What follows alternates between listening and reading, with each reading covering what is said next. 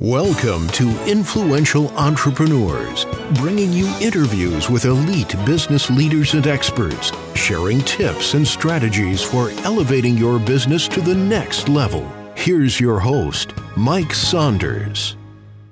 Hello and welcome to this episode of Influential Entrepreneurs. This is Mike Saunders, the Authority Positioning Coach. Today we have with us Maria Pesin, who is the owner of Vibe Consulting. Maria, welcome to the program. Well, thank you for having me on your show. I'm excited to be here. You're welcome. Um, give us a little bit of uh, background on yourself. I know you come out of and work in the apparel industry. So, what um, led you to start Vibe Consulting, and then what is the focus of your agency? Okay. Well, that's a big question. Thank you. Um, I've been in this industry for over 40 years, and I started as a very young person and grew through just being tenacious and working hard. I had no contacts when I came into the industry. In fact, I didn't know anyone who actually worked in an office. I come from a blue collar family. So it was very unique and different from my background. And I had to just go up the ladder in a slow but steady way.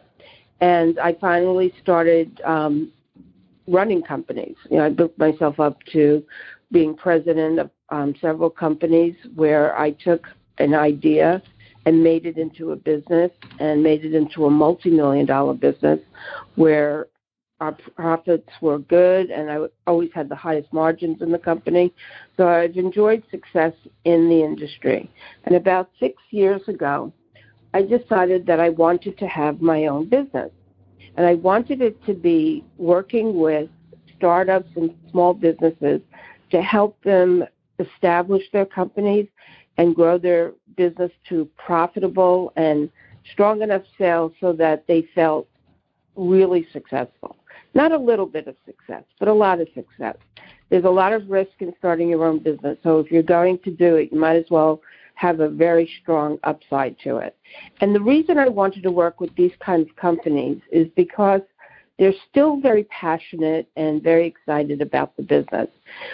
Um, in this business for the last 40 years that I've been in it, there's been a big evolution. What used to be an easy business and a very um, profitable, successful business to go into Nowadays, it's much tougher. I'm sure you've read about retail stores going bankrupt, Chapter 11, closing doors, manufacturers that used to be very hot and strong going out of business. The retail climate is not that easy now. So you have to be very strategic and very good at what you do in order to be successful.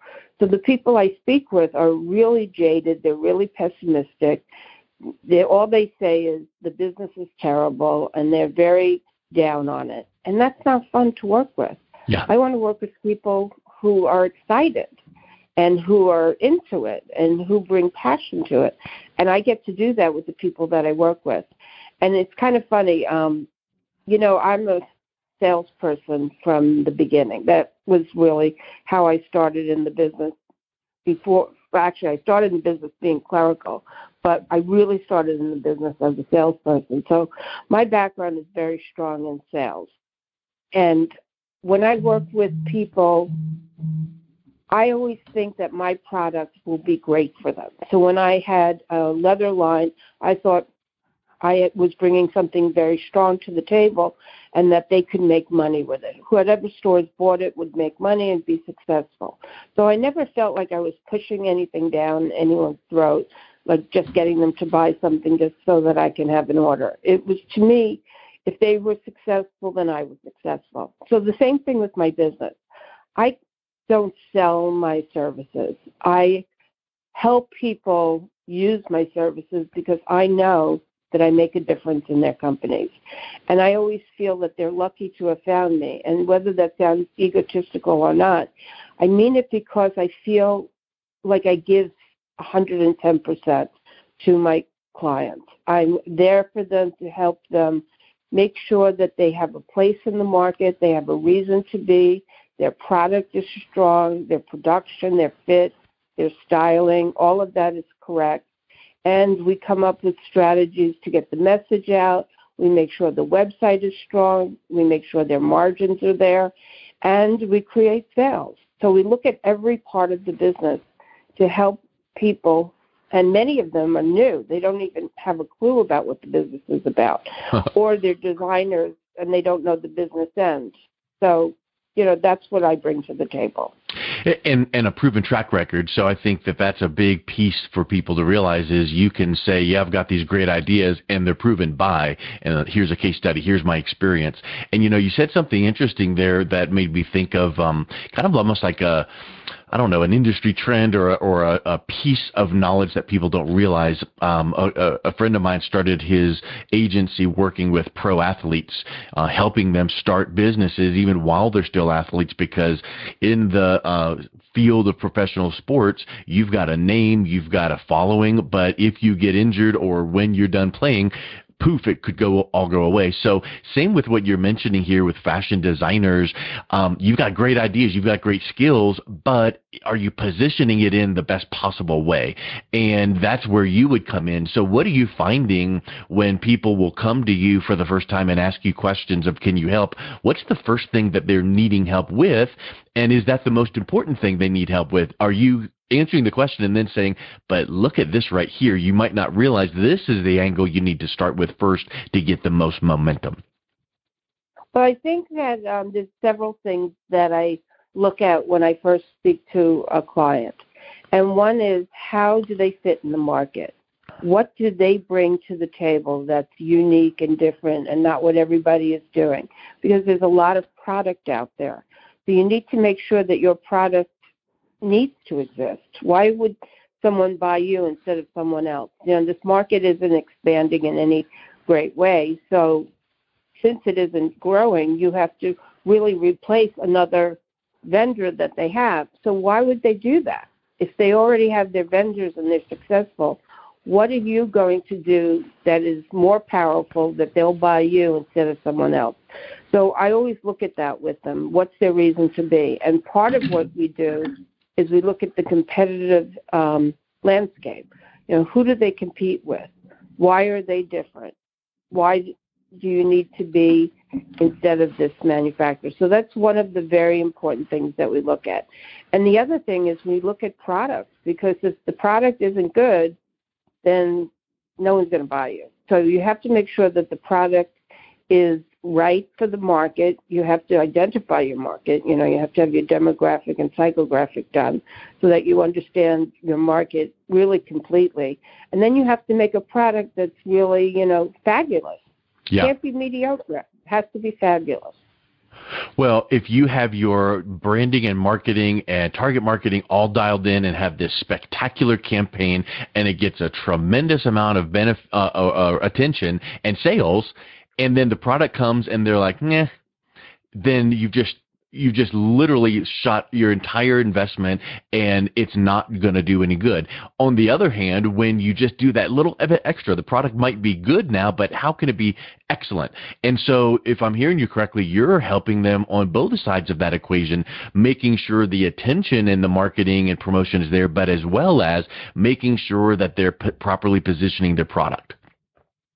Absolutely. I have a client that I've been working with for over a year now, and they were in business for four years, but they were struggling. Their sales were going down, not up, and they couldn't figure out what they needed to do. They had a team of sales reps, and they were all giving them different advice, and they were doing everything everyone said, and it was not working. And we spent the year evolving the line. We didn't make a revolution because they still had a business. So you can't, you know, throw out what was working. So you have to build on what is working and just make it more powerful. So we revamped the line so that it was so much better and the stores loved it. And already the line is reordering and doing um, much better sales. So that's exciting. And yeah, and you you mentioned um, demographics and psychographics, and I think that that's a um, marketing term that people may not understand if you're in the fashion design or the or if you're an entrepreneur. Tell me a little bit about your approach because I know what you mean, but I don't think that people realize the light bulb moment when you really dial in and speak to your correct target audience with the the you know the right messaging that meets their you know the psychographics. Like, are they outdoorsy? Are they more you know urban? And and how does that work in what you're doing with your clients? Well, knowing who your customer is really, really clearly is so so important. I mean, it just really makes a difference in how successful you are. So, knowing demographics, by the way, um, means the specifics of your customer their sex, their age, their income, their education. Are they married? Are they single? And psychographics um, pertains to lifestyle. How do they live? What do they believe? What magazines do they read? You know, those specific psychographics. So you really want to create a very clear picture of who that person is so that everything you do relates to them. How, what they buy, how do they wear it, where do they wear it, um, how um, how do they think of um, things, how do they shop, like what's their style of shopping. You want to really know where they live and what's important to them. You can even go as far as creating an avatar, which is kind of like a fake person, like a made up person. And I've done that for my clients. So let's say um, I want to, one of my clients does men's shoes. So who is that person? He's a man. The shoes are um, more dressed up, so he's a professional man. He probably makes, we decided, between seventy-five and one hundred fifty thousand dollars a year. He's married with two children. Um, both of them are um, in elementary school. His wife is a nurse. You know, we build it out we name him. His name is, you know, John Smith. Good, yeah. And he lives in Iowa. You know, you can when you created that specifically and you do everything and you focus all of your efforts on this one person, then you're so strong in that. Rather yeah, than be all over the place. As you were One describing that, I, I was thinking, um, I was wondering if you were going to say, and we named him because it's really an important piece. And, and I would even venture to say that you recommend that your clients have a just a stock photo picture of some actor person that would be that avatar so that you're really creating your line, your marketing, your messaging to that person right then and there. That's really good. You know, I think that's a great idea about the picture. I never thought of that. Thank you. Yeah, I've heard it before where people that um, do business by like doing webinars and, and presentations that they have that avatar dialed in really well like that, and then they have this picture of the avatar um, on top of their computer so that as they're speaking to the webcam, they're literally talking face to face per se to that person. Um, but yeah, you've got it really, I like really. That. I like the picture. Yeah, yeah, you, that. yeah, that's a good one. So good. There's a there's a free tip for you. So so then Thank when you, you start. Wait, one other thing I want to. I just okay. want to add one other thing. Sure. Customer uh, clients come to me, and when I ask them who they sell, who is their customer, they say everyone. Oh yeah. And oh yeah. They say that a lot, and it's a it might be true that you could sell to everyone. When I was doing Jessica Simpson coats, I used to spend a lot of time on the floor at stores just to see what the customer said and and how they bought things and the buying patterns. And one day I sold a pea coat to a 13 year old girl, and the next day I sold the same pea coat to a 63 year old. Yeah. And the truth is that, yes, you can sell to everyone. You're not going to tell them they can't buy it, obviously. But you can't market and you can't design for everyone. You have to be specific in what you do so that you stand for something. Yep. And Have you ever read that book, um, Building a Story Brand by Donald Miller?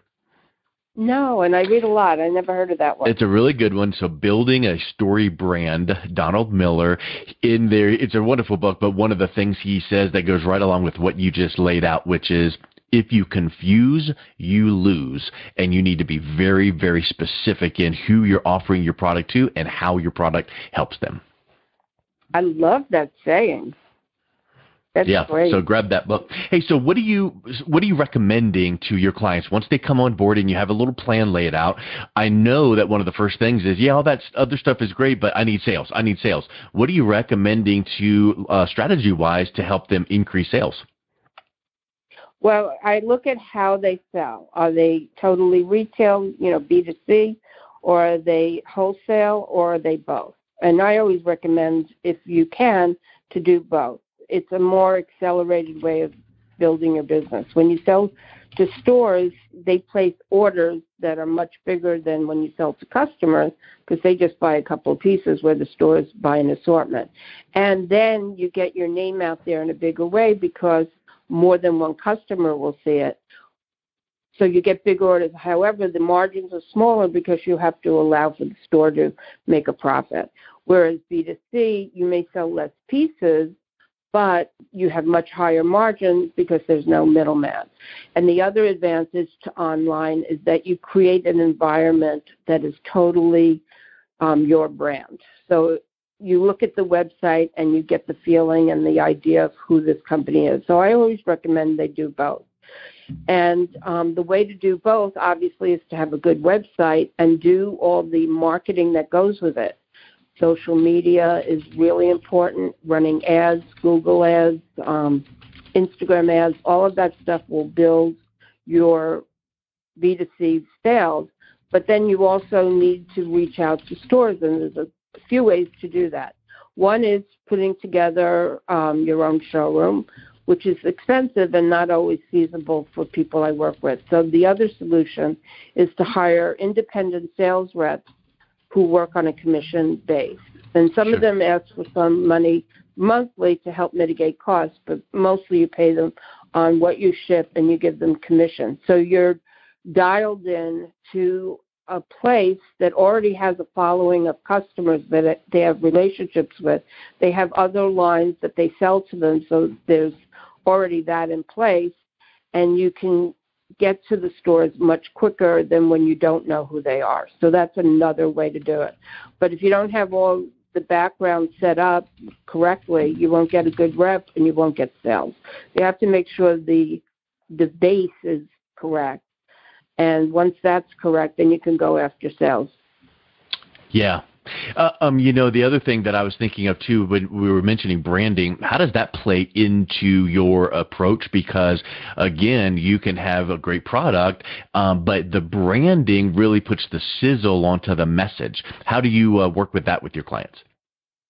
Well, branding is so important now. Uh, in the olden days, as they say, it wasn't so important. But nowadays, stores want to buy from people that customers have heard of and know about. And maybe in the very, very beginning, you don't have that knowledge, but as you grow your brand, then you'll have more opportunity with more stores. So, in order to get real traction, there has to be that customer knowledge of your brand. And there are people that there are stores that won't buy you if you don't have like a following of 40,000 people on Instagram. I mean, that's really serious. So the branding is strategic. And then also customers want to buy from people they have an emotional connection with. You know, think of Tom's shoes. When Tom's um, started their company, and they still do this, for every pair of shoes that they sold, they gave a free pair away to people who didn't have shoes, which is a great marketing message is a great thing to do. I mean, it's really a nice thing to do, but it also engages your audience. My daughter, who was a teenager at the time, wanted to get these Tom shoes because she knew that they did this and she thought, how wonderful that they do this. I want to support it. So that's one way to get an emotional connection. But um, you get an emotional connection through your styling, your imaging, your messaging, your um, other things that you do to create that connection. For example, um, let me give you an example of this, where you can create an emotional connection. Like there's a company out there called Great. They do sneakers, and they do direct to customer, and their imagery is so consistently the same where obviously the product you know changes a bit, but the imagery is so consistent that when you see an ad from Grace, you go, "That's great." You don't even need to see the name. It's like Target with the bullseye. You don't even need to see the name Target. Yeah. You know that it stands for that. So that kind of messaging and branding will bring you a lot of sales. And I want to point out, and I know you agree with this, but I want to clarify this that branding, a lot of times people think is your logo and your graphics, and that's only the tip of the iceberg. Oh, absolutely. I mean, that's important too, but that's only the tip of the iceberg. It's the meaning that your brand carries. Ralph Lauren. What does Ralph Lauren stand for? Do you know? Um, I don't know. Um, I would assume uh, high quality fashion. Okay. So if you're a, a shopper and you like to buy men's clothes, you might think Ralph Lauren is my brand. Like my nephew and my son who are in their 20s, they think Ralph Lauren has like the best clothes for men. So they love that brand. And they bu- mainly buy polo because they know what he stands for. They see his product. They don't even need to see the name. They know it's him. And that's what they aspire to dress like. So they've gotten this serious connection to him that they want to buy him because of the clothing and the image. You know, he's all American, preppy, you know, New England kind of feeling in his apparel, and they aspire to have that look. And that's interesting you you said it that way because from a marketing perspective, people do aspire to something. And if your brand is set up the right way, you want them to aspire to what you offer, and what you offer should give them status, prestige, achievement, recognition, and, and all of that. So I think that's a really, really great piece. Let's uh, let's uh, wrap up with what's the best way that someone could reach out to you, maybe have an initial conversation, and see what you offer if that could benefit their business. That would be great. So my website is Vibe, V as in Victor, I, B as in boy, E, consulting, dot co, not com, but co. So you can go to my website, which is actually being redone um, this couple of weeks and will be new soon. And um, if you want to have a free consultation with me, you can go to my email and ask for it. And my email address is Maria, M A R I A, at vibeconsulting.com CO. Excellent. Well, Maria, thank you so much for coming on today. It was really great talking with you. And it was great to be on here. You asked good questions. Thank you. Thank you. You've been listening to Influential Entrepreneurs with Mike Saunders. To learn more about the resources mentioned on today's show or listen to past episodes, visit www.influentialentrepreneursradio.com.